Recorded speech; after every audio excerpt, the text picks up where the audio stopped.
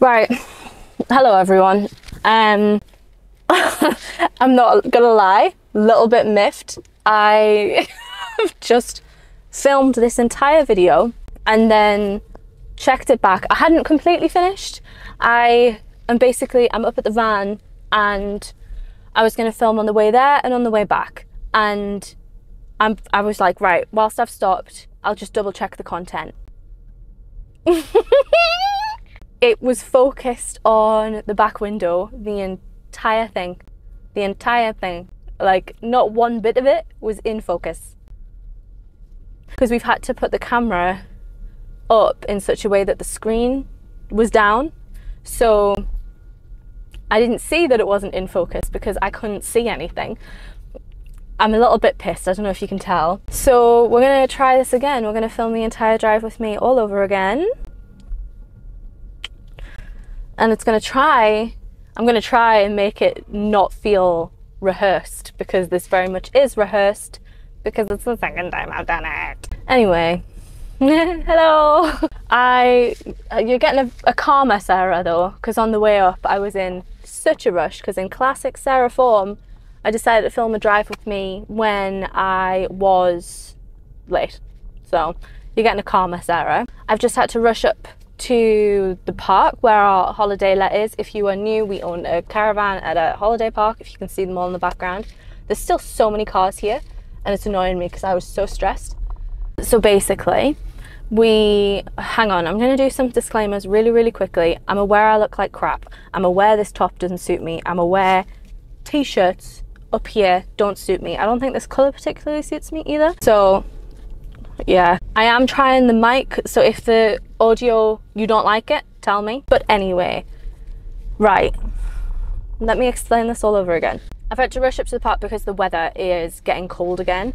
And basically if you own a caravan or like if you're at a caravan if the weather gets below zero I, I think it's if any even if people are in it i'm not entirely sure. But if the with if the temperature gets below zero there is a risk that basically the pipes will freeze and burst the pipes, which floods the entire caravan. So every time the weather gets cold, we have to go up and drain all the pipes in the caravan. So that's what I was rushing up to do. The reason I had to rush is because it's February, and in February, our park closes. The whole deal with it is basically so people don't live there, they close the park through February to like overnight. You can still visit because obviously we own it, we need to have access, and it's great for getting stuff done when we can't have guests. But the park closes, so I had to get up before it closes because it closed. Well, it's meant to close at half three, which I personally think is a silly time because the majority of people work nine till five. I don't know how other people are doing it. I silly. Thought I would have enough time to train at the gym and then just leisurely get up to the park. But I wasn't feeling very well this morning. I haven't been feeling great the last like month or so. I keep feeling really, really tired and my tummy keeps getting upset. And I had a tummy upset this morning. So I took longer at the gym than I normally do because I was taking it easy. And then we had lunch and then I was like, oh my God, it's three o'clock. I need to go. you had me rushing. You had like the footage of me rushing up to the park and I got there at like 32 minutes past, but I was saying they had to let me in because if not, our caravan can flood. So the, I haven't, I've had no problems though. They hadn't shut the gates, which is what I was worried about. I've been in, flushed it. There's a little bit of a leak on the stopcock though. So I've been into the main office and they're going to go do down and have a look at it. He seems to think it's a really simple fix, but he says he'll go look at it because obviously it's the weather. It needs sorted before it hits like zero essentially and I think that's meant to happen tonight uh, I think it's meant to hit two degrees tonight but I don't know if that's like just for today. Like I don't know if it hits zero maybe like tomorrow morning or whatever. I'm not entirely sure. But it's sorted. It's done. I didn't get refused. And it's it's completely drained. The last people that were in because we haven't been since we had our last guests didn't leave it the best of states which is annoying, but I didn't have time to deal with it. They left the lights on, which is like, yeah, fine, but they'd left our heating on permanent, like full blown permanent, and we don't have a, what's it called, thermostat so the the heating will have been on constantly for about a week and a half, which is great. They'd also left a full bag of rubbish just out on the floor, and there's a full bag of rubbish still in there that absolutely stinks. And I have left it. Uh, Jack's not happy, but I was saying if it's split, I don't have time to clean that up. I'd rather just leave it in the bin and we'll deal with it next time we go up. Because it's February, we will be going up soon. I um there will be Hedgehope content coming soon. I know a lot of people have been asking for a Hedgehope update, but I'm a little bit I don't know what to include in that update because if it's an update in terms of just whether we're selling or not, we're still at the same point. We don't know yet. So if that's all people are interested in, I can't fill a full video on that. But if people are wanting more like more in depth update, please let me know what you want to see in that update because I, I'm not entirely sure what to put in there. Someone did leave a really useful comment and say that they would like to see a tour of the park, which I can do easy. Someone asked for a day in the life, but we are never up there for a day, so I can't really do a day in the life. The longest we're normally up there for is like a clean, which is like two, three hours. There is going to be a video either this month or next month because we are going to do a deep clean because we're closed in February. We're going to do, we did this last year as well. If you've been around since then, you might remember. But I'm going to film it again. And this year we are trying to like hire a carpet cleaner, like the full on washing machine things. Can't remember what else we're going to do, but it's going to be a full blown deep clean. So there is Hedgehope, Hedge Hope content coming soon. But if you want an update video, I need to know what you want updated on. I'm trying to think of the things that I was talking about on the way up here. Oh, that was it. Housekeeping messages a little bit. Uh, I um one, I want to say sorry for my sporadicity in uploads at the minute. I've missed a few Sundays, which I'm not happy about. I don't like to do, but I just, I, like I said, I haven't been feeling great this last month. I've been feeling incredibly tired, like so so tired some days, and I just can't film. And I also, the thing is, with the whole, what is rattling? With the whole trying to like improve my content and make my content better, I can't really just film through the tiredness anymore because it's so boring. Like when I'm tired, I was going to film the other day when Jack was at work and do like a solo home vlog like I've done before, but I was so tired that day. I was like, I'm not, I'm not going to do anything, so I can't make it like aesthetic. I can't do like cute cinematography bits because I'm literally going to sit on the set and do nothing. So when I'm tired, it's hard to just push. Well, I can't just push through it with my autism, but I apologize that that means there has been less videos. I am going to try and get back on top top of it. I'm also going to try and get back on top of shorts because I had a really good week that first week of January where I posted like a short a day for a week. And I think a lot of you found me through that. So thank you very much if you followed me through those shorts. But I'm going to try and get back on top of them. I'm going to try and get out of this tiredness. The other housekeeping thing message was just to say again a huge thank you for everybody who sent a message in for the Q&A. That is by far the best turnout I have had for a Q&A ever. Like I've never had that many questions before. And honestly, I know I said it in the video, but it just meant the world. I, I, I can't I can't believe how many questions I had and I know I have like 3,000 subscribers, but the views that I get on my video actually tends to be around like 150 to 200. So that's really the amount of people that are watching my videos regularly. So sometimes it can feel quite disheartening being like, oh, well, I have a small amount of subscribers and then actually even a smaller amount of people are watching.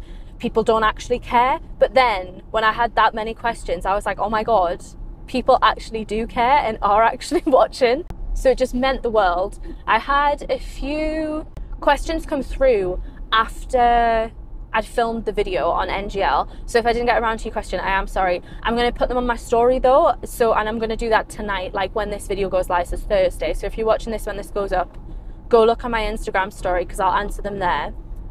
One of those was though, somebody a few days after I asked people for questions, used that link to send me a message saying, the questions that you've used for your Q&A are so obviously you, it's desperate.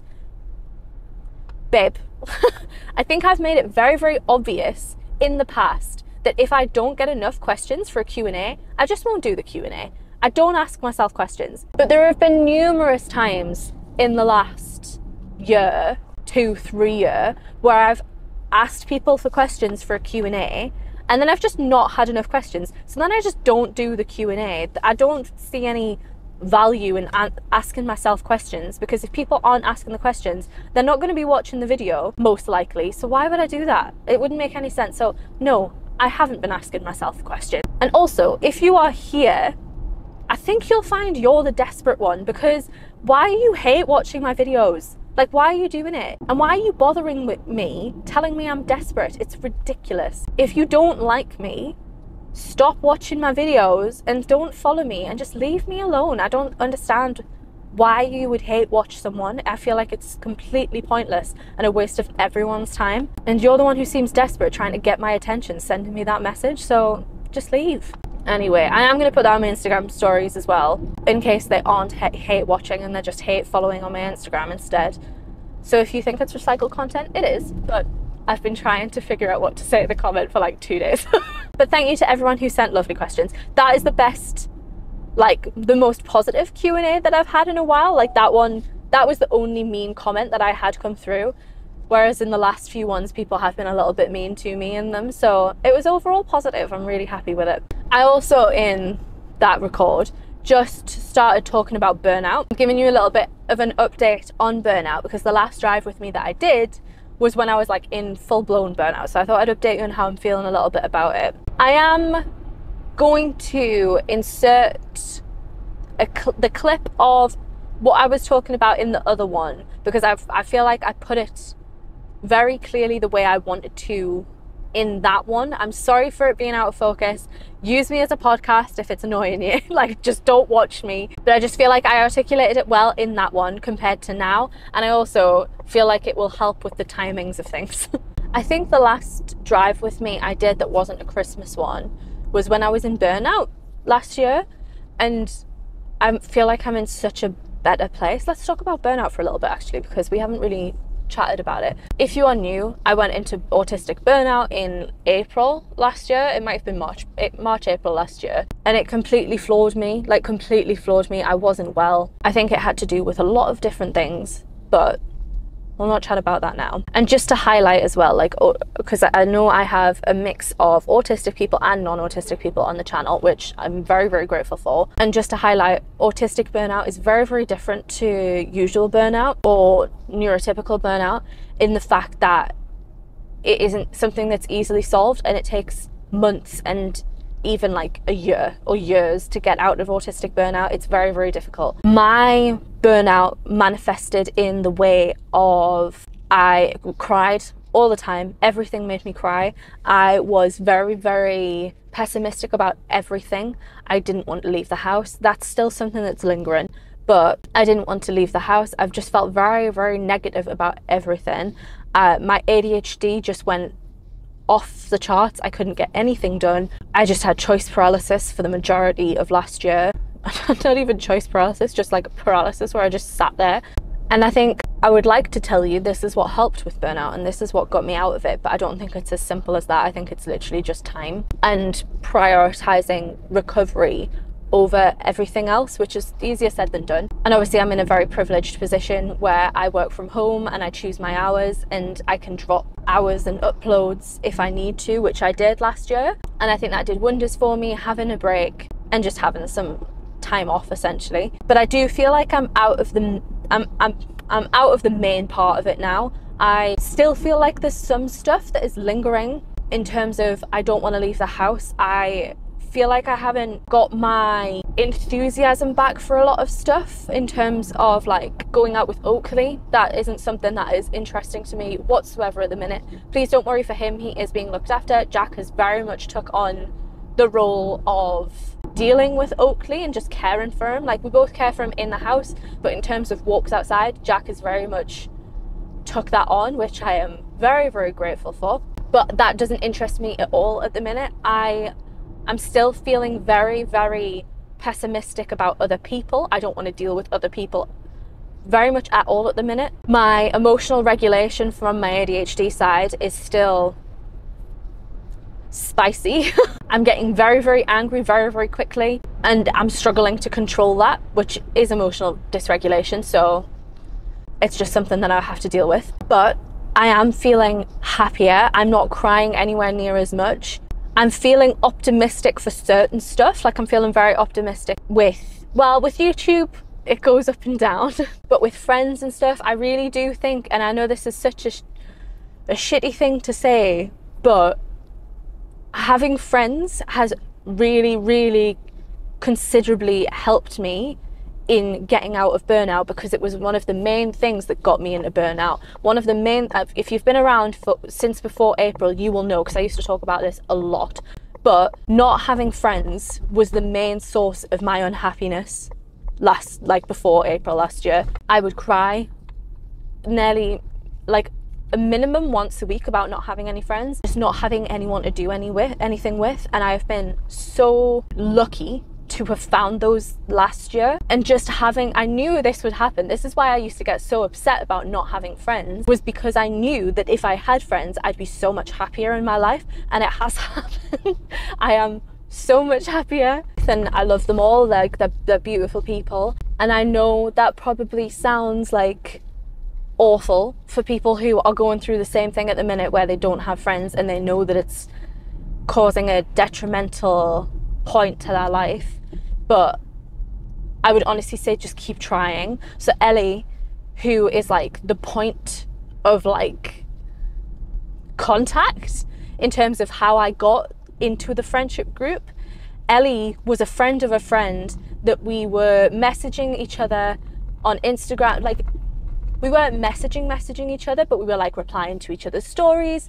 And then one day she put on a story about having a nice relationship with her sister. And i replied to that like a proper message rather than just like love heart eyes or whatever. And then we were just i was she was just like should we meet up? And then i was like yeah that would be great. And that happened and then Ellie introduced me to her boyfriend Tom, and then they introduced us to Alex and Soph, and that's kind of the little friendship group that we have.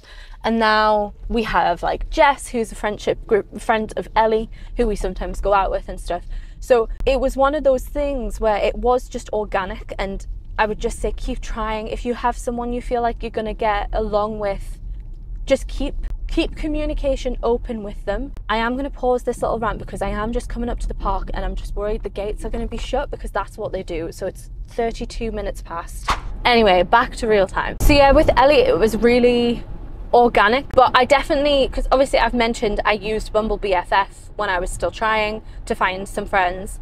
I wouldn't say give up on those things because I know a lot of people have been have found a lot of success with Bumble BFF and just because it didn't work for me doesn't mean it doesn't work it won't work for you. And I've actually went back on Bumble BFF recently to try and find some more local friends. Because Ellie like all of my friends live in Newcastle. And even though Newcastle is quite close to us it's still a bit of a slog for us to have to go through Newcastle like every week and I'd love to have some friends who just live a little bit more local. So I don't hate Bumble, like I'm not saying it doesn't work at all. Definitely keep giving it a try. But with Ellie, with the success I had of finding friendship, it was organic. And I'd honestly just say if you are at any events, because I know with some people you there are literally like there are no friends. But if you do have like some events that you go to, like you've got friends who you see them at their birthday but nothing else. If you meet somebody at an event like that or at the gym, ask them for their socials. Not straight away, but don't feel scared to ask them for their socials. Because if I hadn't followed Ellie, I don't think I asked Ellie for a social. I think it was just that I saw Ellie was tagged in that friend's story. Don't be scared to follow them. I feel like there's this thing of being like, oh, following people is a bit weird but that's what social media is for and if you can make a prop like a proper connection from it it's worth it. I don't know and if they find it weird that you follow followed them they're not for you anyway. Just don't be scared to follow people to message people because that's the way you're going to find them. And if you're braver than me try some like groups doing something. Like if you're autistic, find a local autism group if you've got one in your area. The ones in my area are horrific. Not they're horrific in terms of like they're bad, but just there isn't really anything. It's all for parents of autistic children or families of autistic children. But if your area's got a local autism group, try that.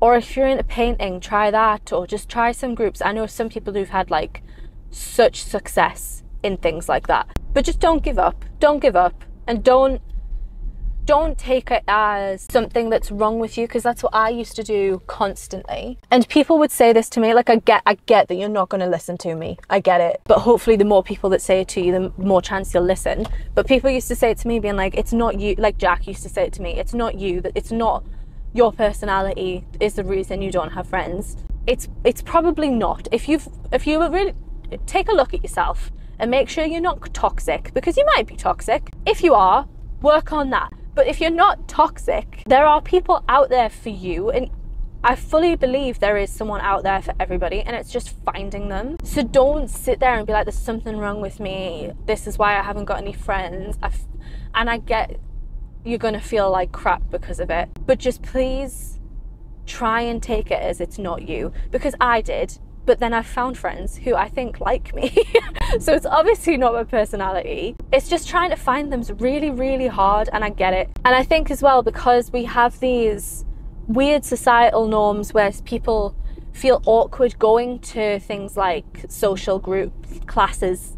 What's the word for that? I can't think of the word, but things like, I don't know, an art class or uh, I don't I don't know. But people feel awkward about going to them. So then everyone feels awkward about going to them. So then people don't go to them, but the people who do go to them don't find the people who actually want to be there because they're awkward about being there.